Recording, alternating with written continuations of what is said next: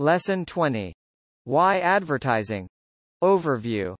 In this lecture, we'll delve into the language used in advertising, particularly focusing on explaining the concept of weasel words.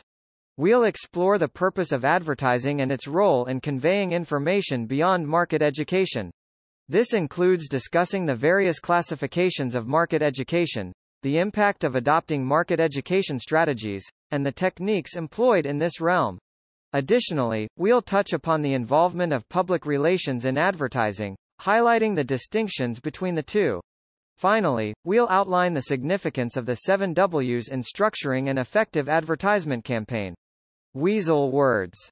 Advertisers frequently deploy specialized language, incorporating terms that can be misleading, commonly known as weasel words. Examples of such words include, helps, virtual, new and improved, and, like. Here are some illustrations. 1. Helps. In advertising, help does not necessarily imply a cure. For instance, a product may claim to help indigestion without providing a cure. 2. Virtually. This term implies not really or not in fact, as seen in advertisements claiming a medicine virtually relieves all symptoms, potentially indicating it doesn't relieve any symptoms. 3. New and improved. Although a product may be labeled as new, due to a change, this freshness typically lasts for six months. 4. Like. Products asserting they work, like magic, suggest resemblance but not actual magic. Presupposition. Integral to advertising, presuppositions prompt readers to consider the existence of objects, propositions, and culturally defined behavioral properties. For instance, the phrase, have you had your daily vitamins, presupposes the necessity of taking daily vitamins. Why advertising? Understanding the necessity of advertising and its objectives is paramount. Here's a brief overview. 1. It's a technique predating many others. 2. It financially supports various communication media. 3. It serves as a visible communication from an interested party to a target audience. 4. It's essential for selling large quantities of goods. 5. It's both visible and often measurable.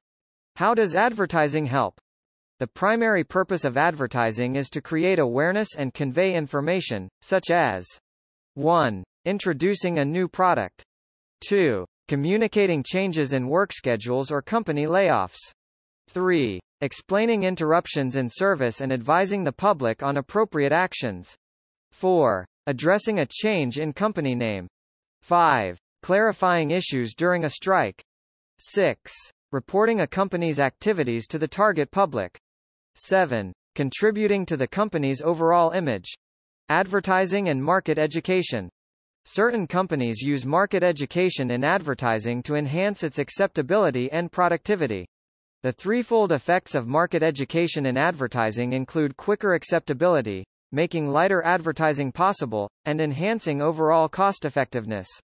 Two kinds of market education and two types of market. There are two major kinds of market education, pre-selling and education related to products and services already on the market.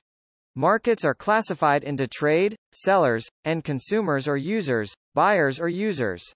Effects of adopting market education strategy. Adopting a market education strategy yields positive effects, including minimizing sales resistance, facilitating adequate distribution before advertising, reducing advertising costs, and enhancing advertising effectiveness. Techniques adopted for market education. Various techniques are employed for market education, such as media relations campaigns, prototype testing, audio-visual aids production, dealer visits, targeted campaigns for opinion leaders, and the creation of supporting printed material. Advertising and public relations. In the competitive landscape, advertising serves as a crucial tool for public relations PR, PR focuses on informing, educating, and creating understanding, contributing to market education. Advertising becomes more successful when preceded by PR activities that establish knowledge and understanding of the promoted product or service. How advertising differs from PR. PR is not a subset of advertising. It encompasses all organizational communications, whereas advertising primarily serves sales and marketing objectives.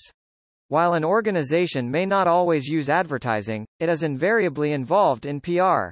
PR has a broader scope, covering everyone and everything, while advertising is task-specific for selling and buying. Advertisement campaigns. Advertising campaigns are vital in today's competitive environment.